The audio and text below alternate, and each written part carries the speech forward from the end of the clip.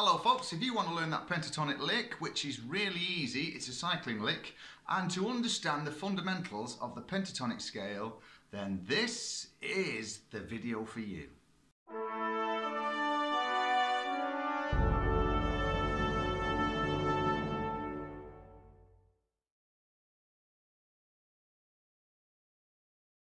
So what we're going to do over the next few weeks is to work solely with the A minor pentatonic scale. So if you're new to the pentatonic scale or you're not quite familiar with the theory side of it and you want to understand how to incorporate it into your playing, plus in every position that I'm going to show you, you will get um, a lick to use in that position, which we can then tie them all together, marry them all up, play them over backing tracks and create these great monster guitar god licks, then this is going to help you out massively. So we're going to take a little look at the um, basics of what the pentatonic, the minor pentatonic scale is all about. So before we do, just subscribe to the channel and give that bell a little bit of a, a ding and that'll keep you up to date with all the latest um, videos for the pentatonic phrasing and licks and exercises that we're going to be covering over the next few weeks, okay?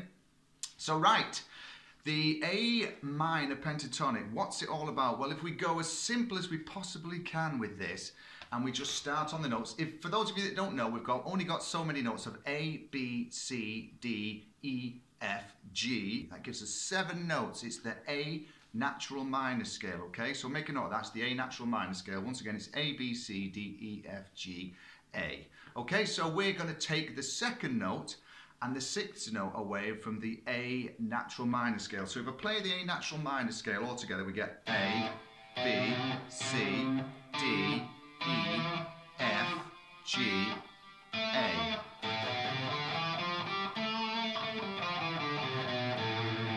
Okay, so it's a, a, very popular scale. I use the A natural minor scale all the time. And all we do when we turn the A natural minor scale into an A minor pentatonic, we just take the second, which is the B, and then we take the F, the sixth note away. So we take the second and the sixth notes, which leaves us with A, C, D, E and G. A, C, D, E, G. Then we just repeat that across the strings. A, C, D, E, G. A, C. So it gives us two notes on each string. Um, and the pattern altogether is like this. 5, 8, 5, 7, 5, 7, 5, 7, 5, 8, 5, 8. So that's your basic starting position for your A minor pentatonic. It's a minor based, penta meaning five, five note scale. So we get that.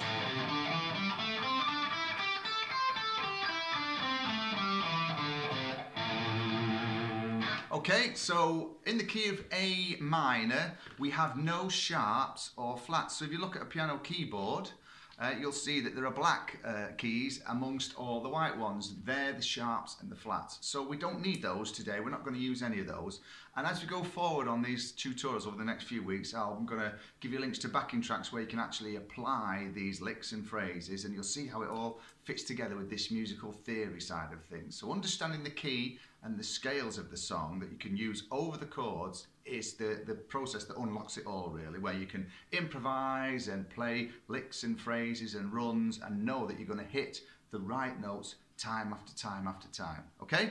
So now we know what this five note minor pentatonic scale is. Today we're going to look at this cycling lick and this cycling and like I say, every position that we move in this pentatonic scale up the fretboard, I'm going to show you a lick that you can incorporate in that position, which makes it pretty cool. So we've got five shapes in this um, pattern and what we'll do is we're just going to work with pattern one this week and then you're going to get used to working with that and the cycling lick is going to be based like this. So we're going to play the G string and we're going to play it on the 7th fret and we're going to make a full bend on that. So the best way to do this is to support the note. If you try and bend with one finger, you're probably going to underbend and sound flat and it's just not going to sound great for you. So what I tend to do is I support that note with all three fingers on the same string, which gives me three fingers worth of strength rather than one. But you'll tend to cock it up and it'll sound a bit out of shape and probably a little bit flat, like I say, because you've not got that strength in that one finger. So support it. Okay, so what we're going to do is we're going to do a full bend of the seventh fret of the third string. Now the other thing, if you're going to practice bends, if you want to practice and make sure that you go into the correct pitch with your bends, I would recommend that you actually go up two frets. So go up to the ninth fret. That's a full tone, and that's the tone that we're going to try and hit with the bend. So when we go to that seventh fret, that's what we want. So if you do this, you can practice and train your ears a little bit to get those bends right. If you do, you know you've overbent. If you do this, you know you've underbent. So it's going to train your ears. It's something that I would recommend practicing, and you can also incorporate that into a lot of other licks. Where if you want to practice a half bend, you're literally just going to go up.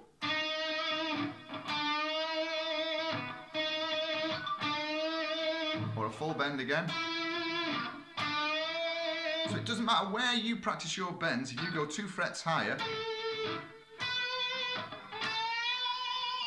you'll start to know when you hit that pitch. And that's a great little tip for you there. So that's something that you can work on. So we're just going to bend this seventh fret of the G string. It's going to be a full bend, okay? Then when we get to the top,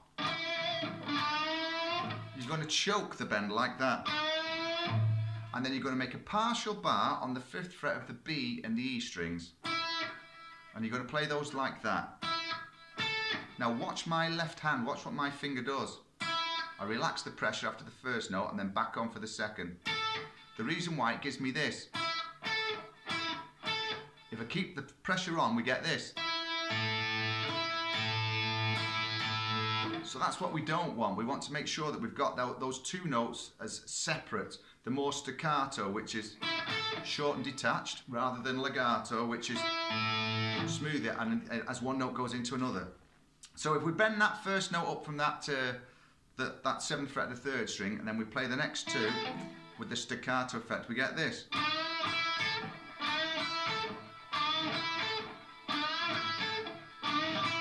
So that's the first bit that I would practice where you just damp the note. So get your get your full tone bend under your fingers first and then break it down into two little separate bits. It's better to learn something in a small section, in a small chunk, to try and learn the whole thing over and over. Get each individual step right and then put it together. So you'll end up with this kind of thing.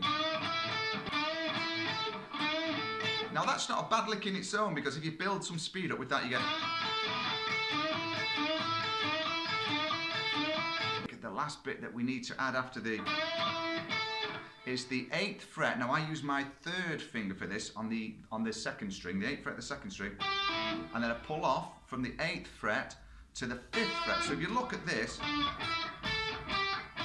we're following those notes in that pentatonic box shape that we've got. Okay, so if I put the whole phrase together slowly,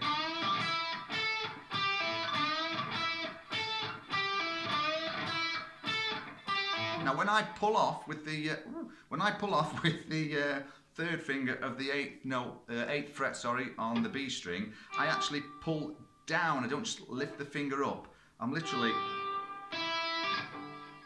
you can see what's going on there. So that's like a finger picking that. It's like a little fret there, you know, a pick on that fret there going. My finger is actually creating the actual movement of the string to make it resonate and sound out for that. So.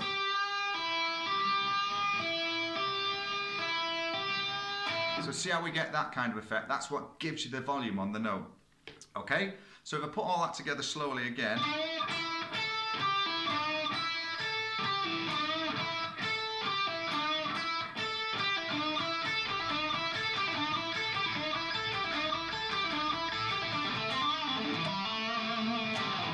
See how it leads into other little licks and phrases. So now you've got your first position.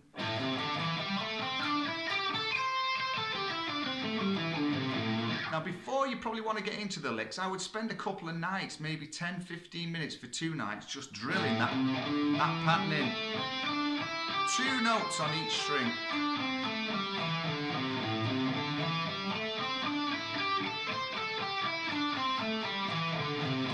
You really need to know these shapes, really get them stuck in there, really locked into your, into your mind and under your fingers before you really move on. Because again, the next lesson is going to be in the second position of this pentatonic uh, key, the A minor pentatonic, and we're going to be showing you that. So if you're going to have to keep going back and referring to the first shape and then the second shape and the third, you're going to struggle with this. So spend two or three nights, take your time. You know, it's it's doable in a week. This lick is um, if you spend a little bit of time each day on it. But I would recommend maybe 15 minutes of practice for two or three nights of just drill that into your fingers. Starting on that A note there, fifth fret.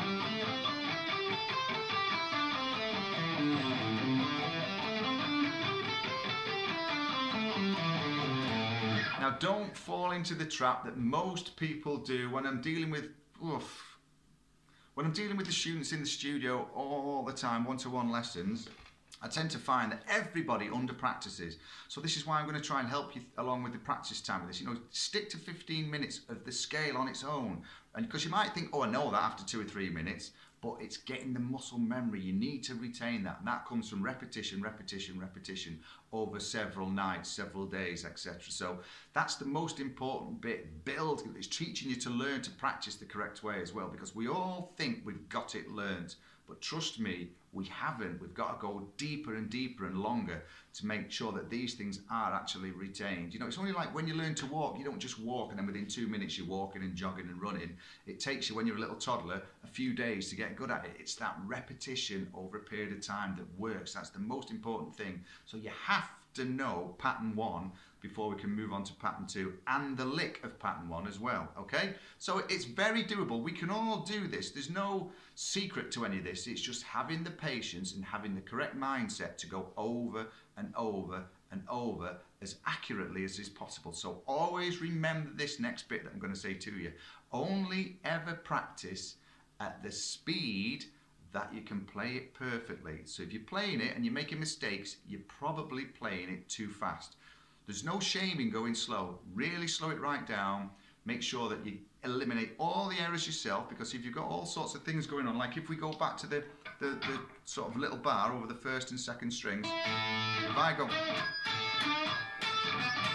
it's me that's making the mistake. So you have to stop that yourself. You have to be able to go, do you know what? I'm not fretting that right, or there's something not quite wrong. I'm mispicking the string, or I've not you know, I'm, I'm letting the two strings ring together. You have to analyze what you're playing, stop the mistakes, and then you'll find that you'll get cleaner and better and more accurate with your with your uh, playing abilities. Okay.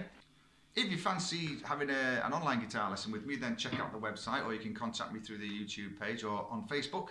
Um, I'm also over Instagram as well. It's on all the socials, so just drop me a message and we'll sort something out. And I do the lessons over Zoom and Skype, send you all the material that you need and loads of backup as well. And it's great. Uh, I do quite a lot of them, and, and it works well for people from all over the world and all over the world in this country if that makes sense. So that's the kind of stuff that I tend to do a lot with the guitar playing. Um, so yes, so please stick uh, with this. You're going to love this. If you're a beginner to the pentatonic scale, going to help you out massively. Next lesson is going to be uh, the second position and we're going to have a, a, new lick for you to practice in that second position as well.